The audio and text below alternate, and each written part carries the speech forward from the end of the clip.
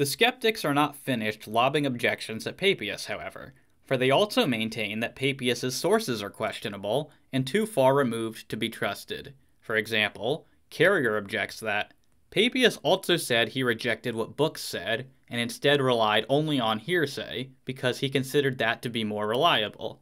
He was thus clearly the least reliable sort of source we could possibly want.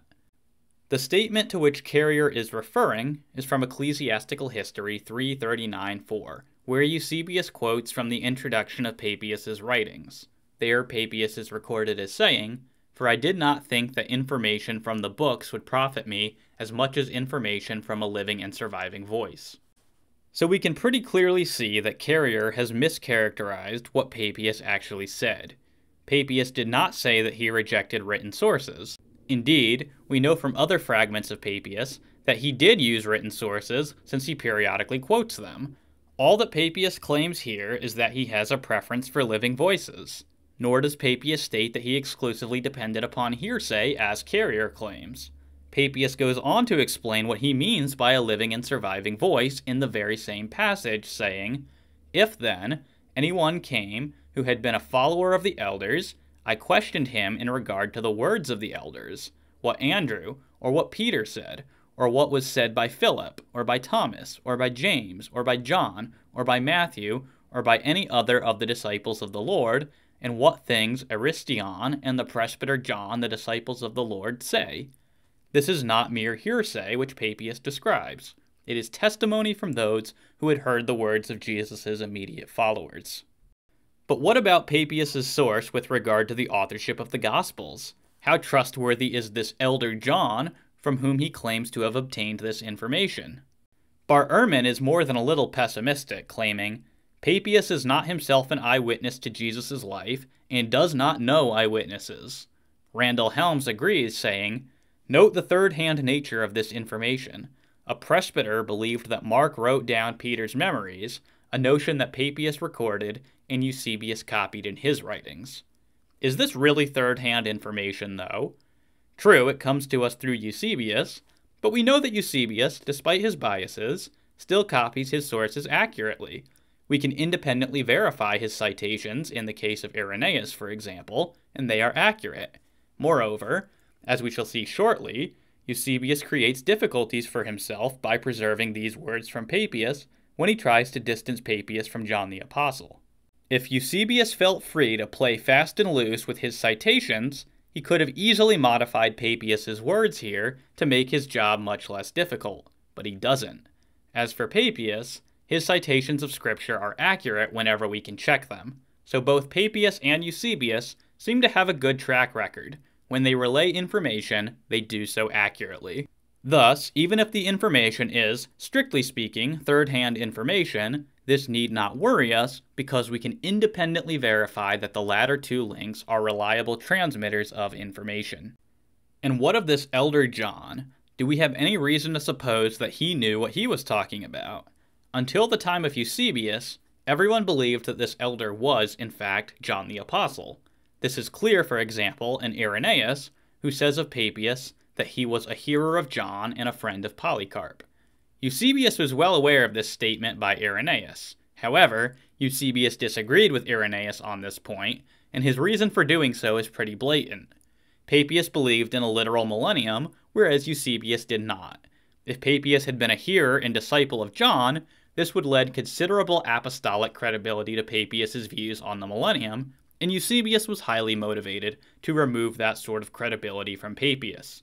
Monte Shanks explains 12 different fragments from 10 different authors claimed that Papias had, to some degree, personally known the Apostle John. It is recognized that some of these authors depended upon others for their knowledge of Papias's connection to the Apostle. Nevertheless, some of the more credible witnesses of the Apostle John's mentoring of Papias are Irenaeus, Eusebius, Jerome, and Anastasius of Sinai. The only person that questioned Papias' association with the apostle was Eusebius, who later in his life, unashamedly and unjustifiably, displayed gross prejudice towards Papias. Eusebius sets himself to debunking the idea that Papias had any connection to John the Apostle in Ecclesiastical History 339.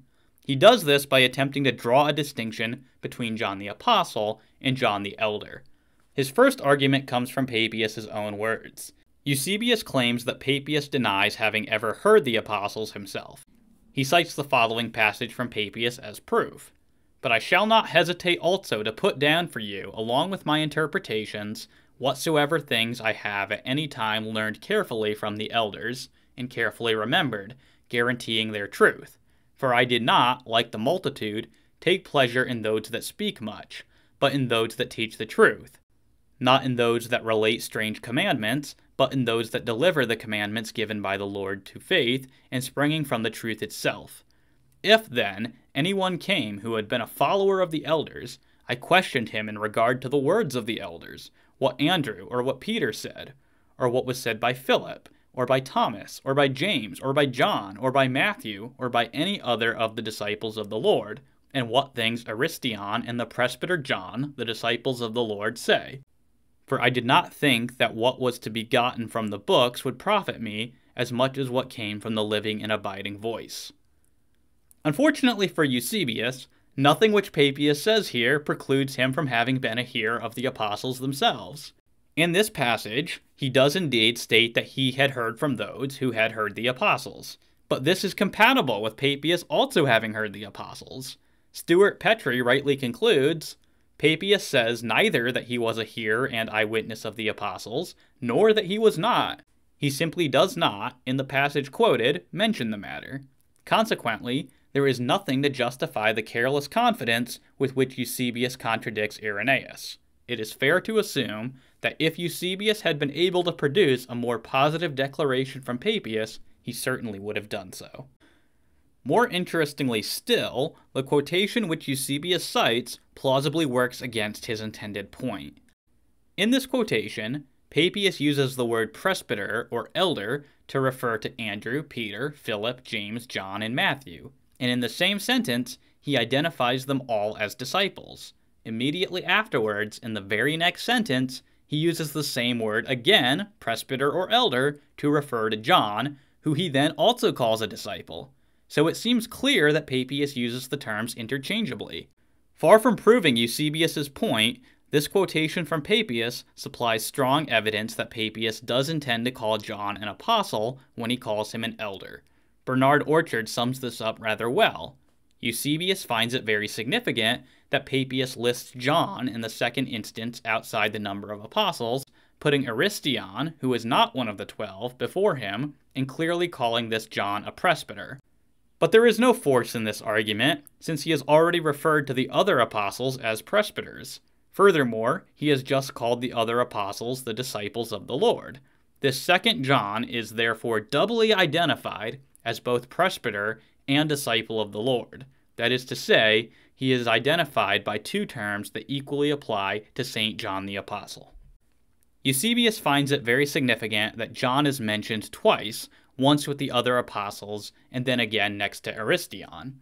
This, he thinks, implies that there must have been two Johns, but Papias uses the past tense when referring to the other disciples, indicating that they had passed away.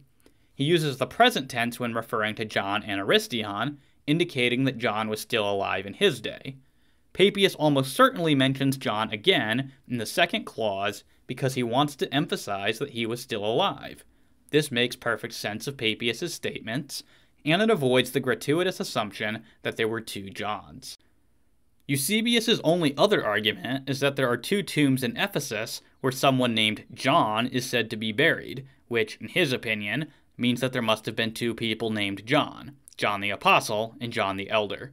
But this pretty clearly does nothing to indicate that Papias was intending to distinguish between an Apostle John and an Elder John. At best, it would establish that there was some confusion over where John the Apostle was buried. Orchard concludes that there were two tombs of John at Ephesus.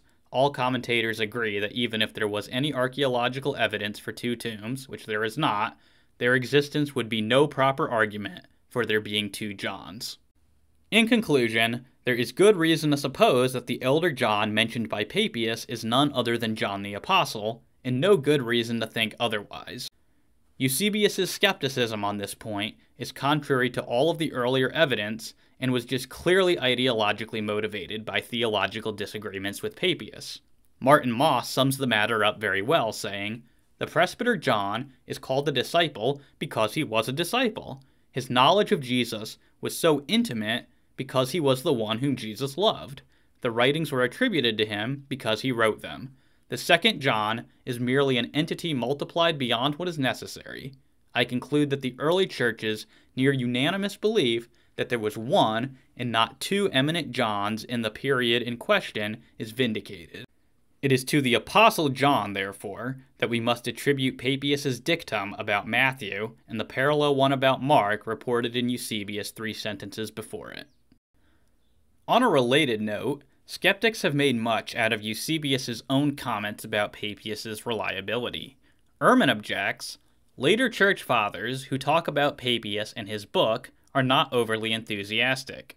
The father of church history, the 4th century Eusebius of Caesarea, indicates that, in his opinion, Papias was a man of exceedingly small intelligence. Similarly, Carrier says, From the quotations we have, we can tell that Papias was a very gullible fellow, so much so that even Eusebius called him a man of very little intelligence. But as we have already seen, Eusebius's low estimation of Papias's intelligence had very little to do with the quality of Papias's writing and everything to do with theological disagreements between Papias and himself.